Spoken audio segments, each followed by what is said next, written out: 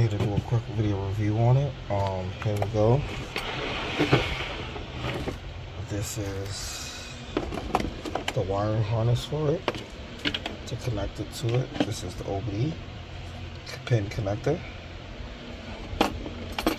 This just uh, connects into that. Okay, and the booklet.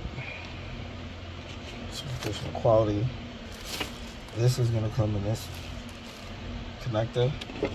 This is the EZ400 Pro power adapter port to plug in the uh, OBD and power button.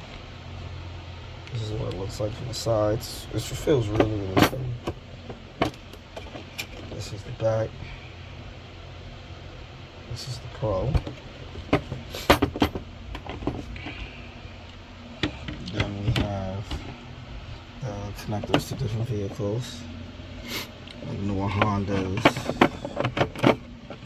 newer Toyotas for diagnostic, Fiat, Kia, and Suzuki. Then we have a self-test adapter. Then we have the European adapter and the power adapter that plugs into USB. It's right here. Plug it in to the device and charge it. I'm gonna show you the extra stuff that it has here. So then we have other adapters. Daewoo, Mazda, and Nissan adapters.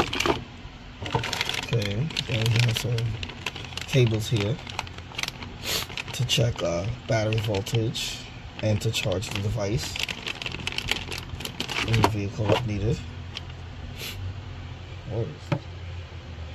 Another connector here. This for Benz 38.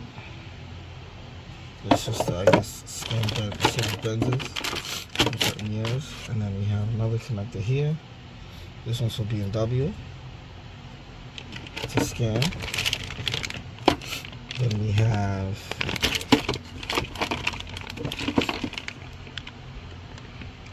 say there's more connectors to different vehicles. We have more adapters here to connect to different vehicles. As you can see, it does come with a lot of stuff. A lot of connectors to connect to different vehicles. So now I'm gonna power it up.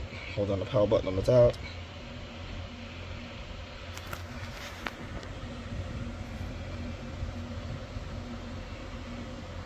Now it's moving on.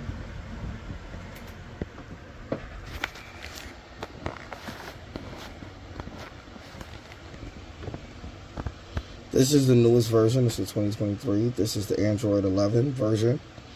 Um, with this version, it's you know a lot faster. As you can see, the menus have changed. Uh, basically, shows your account, auto scan, diagnosis, special functions. Okay. Uh, updates, more remote control. So I'm gonna go through the. Okay, so it's done. So basically, I have diagnosis. These are the different models. It says my models. Okay. You go Europe, and you can go to my vehicles. That's where you see your vehicles. Then you have what each one of these arrows mean. The arrows mean that it has an update.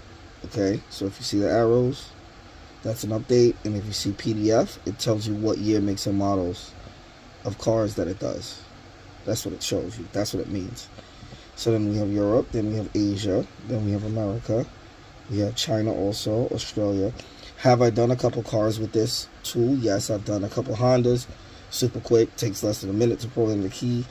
Um, yes, this can do push start cars also, and it can pull pins. So I'm just letting you guys know from my experience.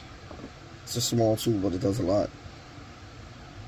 So we just went to diagnosis, know, special functions, instrument cluster, key programming, power balance, electronic parking brake, throttle, SAS, AdBlue reset, injector coding, TPMS reset, oil reset, air fuel reset, gear match, BMS, gear learning,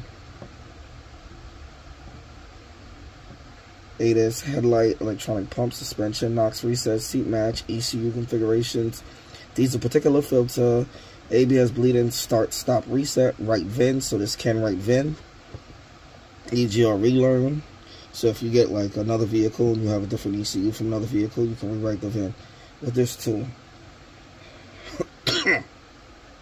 AC relearn, window initialization, VGT relearn, airbag reset, and tire upgrade. These are all the special functions. And then it also has key programming. And then it's the disclaimer for the key programming. And then these are the year makes, the years of models that it does.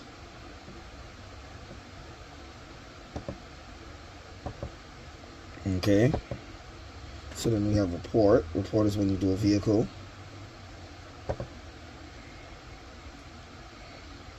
Basically did an Infiniti and that's a diagnosis report. Let me show you. These are the codes that he had. This is from scanning another car.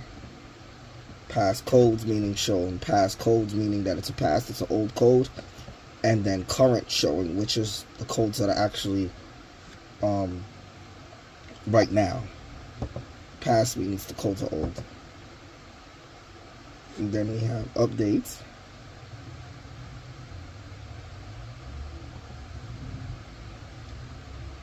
These are updates that I haven't done yet. I've done a lot of updates, and this thing gets updates on regular. I think it's free updates for like three years or something like that. Then we have settings, languages.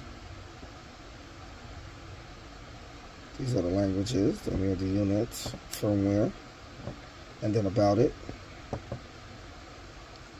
And we have remote control. This is where you can control this device from your cell phone or another device. Someone helping you troubleshoot it. You can do that through there. Then we're going to hit more. Then it takes you to the Xtool site in case you need help with anything. That's what this is about.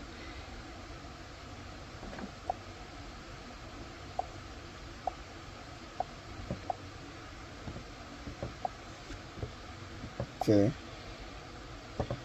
So now I want to show you, this is the screenshot. This is for the volume down. This is to go back. This is the home button.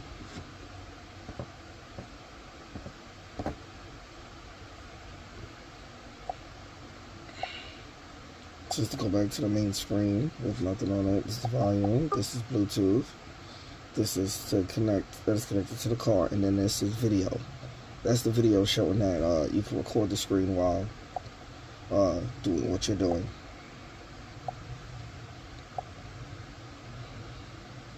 Okay. So then we're to go to here, to menu.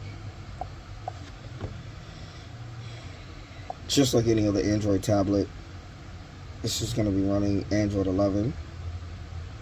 That's why it looks different. It has basic Wi-Fi, Bluetooth, display, sound, storage, battery, battery saver, apps, screenshotting, security, accounts, language, backup and reset, date and time, friends and accessibility, and about device.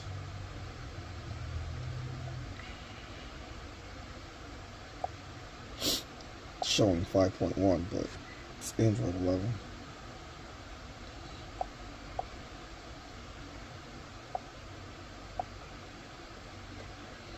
and that's it and then I'll be making a video showing you guys how it works in a vehicle programming a key and uh, and a couple more videos. If you guys have any questions feel free to ask them to like share subscribe and comment. Peace